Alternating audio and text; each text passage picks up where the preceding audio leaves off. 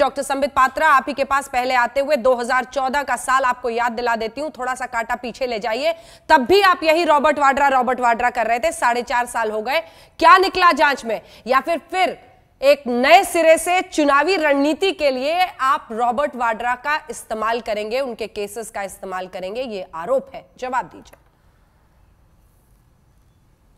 देखिए अंजना जी मैं भी थोड़ा कांटा आगे की तरफ़ लाता हूँ। 2014 में हमने आरोप लगाए थे। 2015 में बीकानेर वाले केस में उनके खिलाफ एफआईआर भी हुआ वहाँ भी जाँच चालू हो गई। ईडी ने भी जाँच शुरू किया। 2016 में ढींगरा कमीशन ने अपने रिपोर्ट को रखा। 2015 में ढींगरा कमीशन बन गया था। 2017-2018 में ईडी ने पूरी जाँच की और दो हज़ार अठारह में ही याद करिए ईडी ने कहा कि रॉबर्ट वाड्रा को पच्चीस करोड़ रुपए इसी केस में जिस केस में अभी एफआईआर हुआ है उसी केस में इनकम टैक्स डिपार्टमेंट को देना होगा क्योंकि उन्होंने चूना लगाया था इनकम टैक्स डिपार्टमेंट को 25 करोड़ को 25 करोड़ का। 2013 में एक सीएजी की रिपोर्ट भी आई थी, जिसने रॉबर्ट वाड्रा की तरफ़ इशारा किया था और घोटाले के संदर्भ में बताया था। देखिए, जहाँ तक इस्तेमाल करने का सवाल है, मैं एक विनम्रता से सवाल पूछता हूँ, ऐसा काम ही क्यों करिए कि आपको डर लगा रहता है कि आप इस्तेमाल हो सकते हैं? आप नेकी से काम करते आप करप्शन नहीं करते गरीबों का पैसा लूटते नहीं आप करोड़ों खरबों गरीबों का लूट के अपने जेब में रखते नहीं तो आपको डर नहीं होता? किसी और का तो कोई इस्तेमाल नहीं कर लेता है रोड पे। रोड में चलते किसी इंसान पे हम एफआईआर कर सकते हैं क्या? बिल्कुल नहीं कर सकते हैं। देखिए मैं एक छोटे से कागज़ पहली बार आज तक पे दिखाऊँगा ये ब्रेकिंग न्यूज़ होगा। बड़ा मैं इसको मैं कहूँगा कैमरा पर्सन को कि आप जूम करके दिखाएँ। ये कागज़ आज तक कभी देखा नहीं गया था। मैं भी परमिशन दिखा रहा हूँ कि सीक्रेट कागज़ नहीं है। यह कागज़ उस फ़ाइल का है जो रॉबर्ट वाड्रा जी का है और तत्कालीन मुख्यमंत्री जो कि town and country planning department के मिनिस्टर भी थे वो उस फ़ाइल का है जब हाँ। इस कागज़ का के टुकड़ी के माध्यम से वो ज़मीन तीन दशमलव पाँच एकड़ गुरुग्राम में पास हो रहा था। जानते हैं इस कागज़ में क्या लिखा है? इस कागज़ में लिखा हुआ है कि जो डायरेक्टर साहब हैं, जिनका नाम रॉबर्ट वाड्रा है, उनके पास फाइनेंशियल कैपेबिलिटी नहीं है, ना ही उनके पास एक्सपीरियंस है। क्या किया जाए? मगर डायरेक्टर का नाम रॉबर्ट वाड्रा है, वो बहुत महत्वपूर्ण आदमी है तो मुख्यमंत्री साहब जरा इस पर चिंतन करिए। आप अगर कहेंगे तो हम पारित कर देंगे, ये रूल के विरुद्ध है। और ये जो मैंने गोल कर रखा है, वो भूपेंद्र सिंह हुड्डा जी का साइन है। ये twenty first zero three two thousand eight का है। और आप देखिएगा भूपेंद्र सिंह हुड्डा जी कहते हैं कोई बात नहीं इसको कंसिडर कर लिया जाए। Please consider the name of the director ठीक है प्रियंका जी इसका जवाब देंगे। प्रियंका जी जवाब देंगे।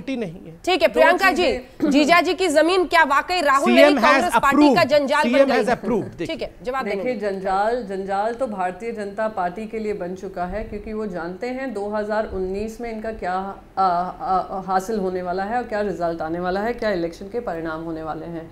ये जानते हैं, आने वाले चार राज्य सरकार के चुनाव जो हैं, उसमें इनको हार होने वाली है। ये जानते हैं हरियाणा में, क्योंकि विकास दिखाने के लिए है नहीं तो वो बार बार वहाँ की जनता को वही बरगलाने की कोशिश कर रहे हैं, उसी स्क्रिप्ट के आधार पे जो 2014 में चलाई गई थी। आरोप बहुत सारे लगाए गए थे, साढ़े चार साल का कार्यकाल रहा है, एक भी आरोप को वो प्रूव नहीं कर पाए हैं। दूसरी बात, मैं संबित जी की बात बहुत ध्यान से सुन रही थी, बहुत कम समय होता है जब मैं इनकी बात ध्यान से सुनती हूँ, इसलिए इनको इंटरप्ट नहीं कर रही थी। इन्होंने कहा, चूना लगाया है। चुना तो इन्होंने देश की जनता का लगाया वोट पाते ही कह दिया कि सारे जो वादे किए थे वो जुमले हैं। आज वही स्क्रिप्ट को वापस दोहरा रहे हैं। फिर कहते हैं हम रास्ते चलते वाले पे एफआईआर दर्ज कर देंगे क्या? भाई साहब आप तो वो सरकार बनकर आए हैं कि लोगों को पहले जेल में दबोच कर रख देते हैं फिर एफआईआर दर्ज करते हैं। और जो विधायकों पे आपके विधायकों पे जो महिलाओं के खिलाफ काम करते हैं वो उन पे ऊपर एफआईआर भी दर्ज नहीं होती हैं। हम्म। अब रही बात रॉबर्ट वाड्रा जी की। स्काईलाइट हॉस्पिटैलिटी साढ़े तीन एकड़ ज़मीन खरीदती है एक कमर्शियल नोटिफाइड जोन में 28 जनवरी 2008 में। हम्म। वो उसका बकायदा स्टैंप ड्यूटी देती है कलेक्टर्स रेट पे। फिर वसी को वो अप्लाई करते हैं कमर्शियल लाइसेंस के लिए। और कमर्शियल लाइसेंस अब मैं आपको बताऊँ हरियाणा में करीब हम्म। छत्तीस हज़ार एकड़ के लैंड यूज़ चेंज हुए हैं लाइसेंसेस के आधार पे। लाइसेंसेस का भी पेमेंट होता है जिसका बकायदा उन्होंने पेमेंट किया है। जो चार्जेस होते हैं बकायदा दिए गए हैं। तो टोटल कॉस्ट जो ज़मीन की है उन्होंने पे किया है। जो भी टैक्सेस होते हैं वो पे किया है। स्टैम्प ड्यूटी जो है वो आ, जो कलेक्टर्स डेट पे होती है वो किया है। पाँच साल बाद एक बिजनेसमैन अपनी लैंड खरीदी हुई बेचना चाहता है। तो वो बेचता है।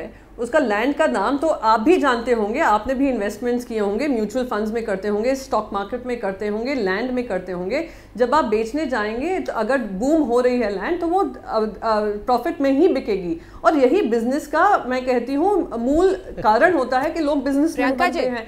और एक मिनट अगर उसमें किसी तरीके की कमी होती या करप्शन होता तो अब तक वो जो लैंड यूज़ का जो लाइसेंस है वो रद्द कर दिया जाता पर इनकी सरकार ने अब तक रद्द नहीं किया है। गुड़गांव में ग्यारह हज़ार एकड़ लैंड यूज़ चेंज हुआ है पर वही साढ़े तीन एकड़ में से ढाई एकड़ जो कमर्शियल यूज़ के लिए मिला है कमर्शियल लाइसेंस चेंज हुआ है उसके आधार पर ये अपना पूरी राजनीति चमकाने की कोशिश कर रहे हैं और जो उन पे भ्रष्टाचार के आरोप लगे हैं रफेल का जो पैंतालीस हज़ार करोड़ का देश का सौदा कर कराए हैं फ्रांस में नरेंद्र मोदी उसकी जवाबदेही से बच ठीक रहे है, हैं बढ़ते हुए फ्यूल प्राइसेस के दाम से प्रियंका जी एक एक, इम्पोर्टेंट फैक्ट एक इम्पोर्टेंट फैक्ट जो आपने छोड़ दिया। ठीक है।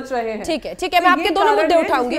मैं आपके ठीक है आपके दोनों मुद्दे मैं उठाऊँगी लेकिन जो एक इम्पोर्टेंट फैक्ट आपने मिस कर दिया बताना जानबूझ के या गलती से पता नहीं जब पहले उन्होंने ज़मीन खरीदी साढ़े तीन करोड़ की खरीद साढ़े सात करोड़ की खरीदी साढ़े हाँ। सात करोड़ की खरीदी और फिर एक साल बाद लैंड यूज़ बदल के जब बेचा तो अट्ठावन करोड़ में बेचा नहीं नहीं नहीं मैडम मैडम मैडम नहीं मैडम मैडम प्लीज़ मुझे अब आप करेक्ट करने दीजिए 7.95 टोटल लैंड की कॉस्ट थी विद स्टैंप ड्यूटी हाँ। उसके बाद उन कमर्शियल लाइसेंस के लिए अप्लाई करते हैं जो ढाई एकड़ उनका कमर्शियल लाइसेंस मिलता है हम्म। Commercial colony license charge of 7.43 crore वो पे करते हैं ठीक है। रिन्यूअल चार्जेस 73 लाख पे करते हैं हाँ। टोटल अमाउंट 16.11 करोड़ वो पे करते हैं हाँ। पाँच साल बीत जाते हैं हाँ। फिर जाकर वो बेचते हैं 58 करोड़ में। और वहीं पे मैंने बात वही खत्म होती है। एक मिनट एक मिनट। मैंने वही बताया। अरे एक मिनट मैडम मैडम मैडम बात कंप्लीट हो जाने दीजिए। 58 करोड़ में ये लैंड बेचते हैं। एडिशनल टैक्स ऑफ़ 8 करोड़ पे करते हैं। तो आप मुझे यहाँ पे ये बताइए कि इसमें ओपन एंड शट अब, अंजना जी, मैं जवाब क्या? गलती हुई है? को तो साढ़े चार साल से कुछ तथ्य नहीं दे पाए हैं तो वो फिर से एफआईआर दर्ज करेंगे। एफआईआर में आप कुछ भी दर्ज कर सकते हैं प्रूफ तो कोर्ट में ही करना पड़ेगा। हाँ।